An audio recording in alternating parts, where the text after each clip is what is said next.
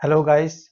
Uh, in this video uh, I will discuss about the modification of BOQ that is how to add more rows or delete rows or add or delete the columns in the BOQ Excel file.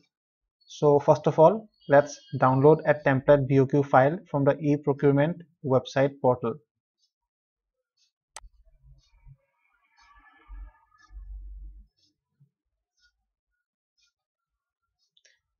so we will uh, download the item rate BOQ template and modify it.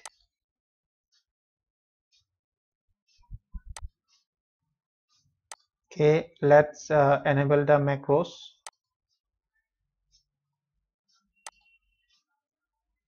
Okay now this is the template uh, BOQ file for item rate. And uh, this is the time it has some uh, predefined uh, items which we are going to modify. Now every BOQ uh, Excel file is password protected. So before doing any modification we have to unprotect the sheet. So let's go to the review tab and then unprotect sheet. The default password is testing. We'll unprotect the sheet. Now we can mod modify the columns and rows. Now let's uh, understand the BOQ in a very simple way. The highlighted rows here and all these are the rows where the bidder has to enter his values.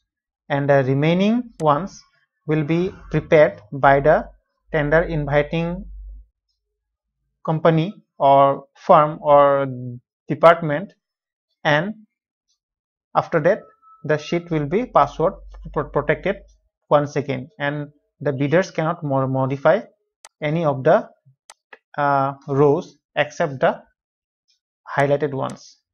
Okay now we will modify the BOQ from the point of view of the tender inviting authority. So let's say we want to add more rows or delete the rows which we don't require. Now the rows which are highlighted highlighted here and here are the headers.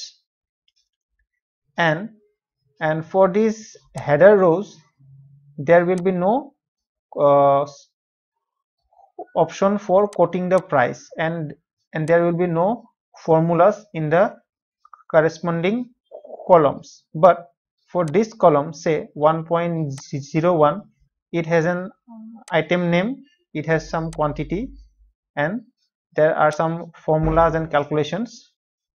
And there is also a, a column for the bidder to quote the price.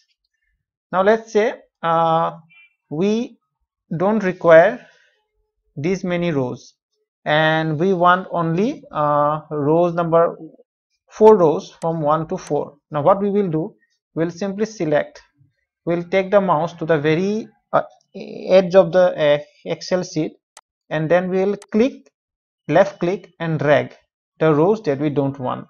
And once selected we can simply again right click and delete the rows.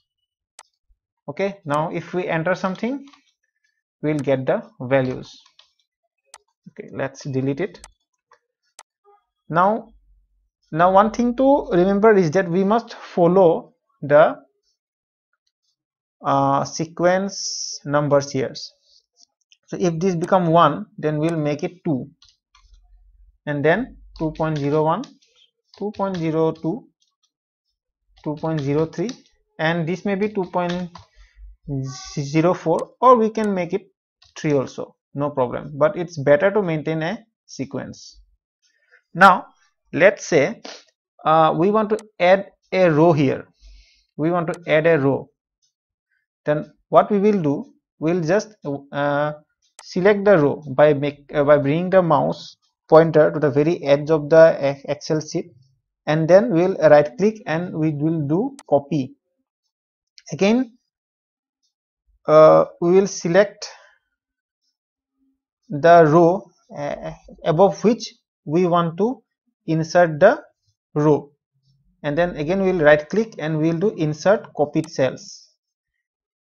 In this way if we do just control C and control V means simple copy and paste then this thing will not work because the formulas which are uh, involved in this sheet in this file means in this row will not get copied. Now it now we'll simply change the serial number and that's it. Okay. Now the very basic rule for modifying a row is that row can be deleted. But the same rule will not go for the columns. If we delete a column here then all the formulas will get jumbled up and we and the BOQ file will give you some errors. So suppose uh, we don't need this column then what we will do? We'll in the same style we'll take the mouse pointer to the very top edge of the file means uh, row column number F and we'll right click it. Now we will not click the delete button because if we delete a column then the formulas might get some errors. So we'll hide it simply hide it. Okay. Now we'll hide it. And then uh, suppose uh, we don't want to show this units column then we'll simply click the column select the entire column then right click it here and we'll hide it. Okay.